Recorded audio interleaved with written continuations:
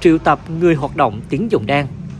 Sáng nay ngày 30 tháng 1, Cảnh sát hình sự Công an huyện Bình Sơn, tỉnh Quảng Ngãi triệu tập làm việc với người phụ nữ sinh năm 1984, trú tại thị trấn Châu Ổ, huyện Bình Sơn, về hành vi cho vay lãi nặng trong giao dịch dân sự. Người này khai nhận từ năm 2022 đến nay đã cho nhiều người dân ở Châu Ổ và các xã lân cận vay tiền với lãi suất từ 110,61% một năm đến 243,33% một năm. Tổng số tiền cho vay hơn 1 tỷ đồng. Cơ quan công an đã tạm giữ một cuốn sổ ghi chép các khoản vay và một số đồ vật tài liệu liên quan đến hoạt động cho vay.